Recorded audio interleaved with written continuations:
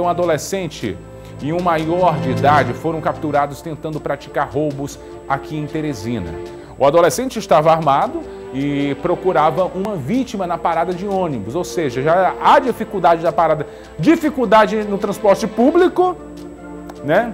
A população não tem transporte público, aí fica lá esperando horas e horas, vulneráveis, e aí vem esse povo aí que não tem o que fazer, não quer trabalhar não quer ir à luta, só quer o que é do próximo e aí faz isso. Tenta levar. Tony Silva traz os detalhes. Cadê Tony? Conta aí, conta aí como é que foi que aconteceu. Policiais mototáticos do 5 Batalhão da Polícia Militar do Piauí chegando neste exato momento aqui na Central de Flagrantes de Teresina, conduzindo dois elementos, uma arma de fogo. Sargento Aquino vai falar pra gente mais desta ocorrência. Como se deu, Sargento? É, fazendo rondas atrás de um elemento que tinha roubado um celular de uma senhora e nos deparamos com esse com dois com dois, dois elementos com, portando essa arma de fogo munição e uma moto roubada e... aí no meio da abordagem eles alegaram que tava pra, é, que era para matar os afetos.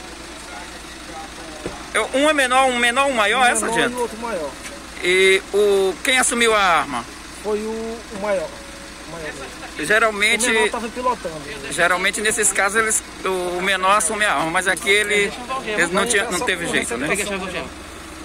Tá aqui então o sargento Aquino chegando aqui com é, mais esta arma de fogo retirada de circulação na zona leste da capital. E, eles já tinham, já foi levantado se tinha alguma passagem, sargento? Tem um elemento que tem mandado de prisão para ele. O mesmo que está com a arma de fogo. Provavelmente esta arma seria para é, fazer parada, como se fala. Ele levou lá que era para fazer, para matar o desafeto dele.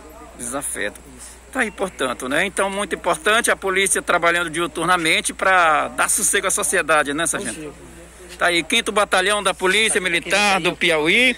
E chegando agora aqui a Central de Flagrantes, está aí a arma, um revólver calibre 38, municiado. 32. É um 32, na verdade, com a munição e chegando agora, eles já estão, é, já foram apresentados ao delegado lá na, ali na central da, de flagrantes de Teresina e agora será feito o procedimento cabível. E nós voltamos mais uma vez esta ocorrência aqui direto da central de flagrantes para os estúdios da nossa O Dia TV.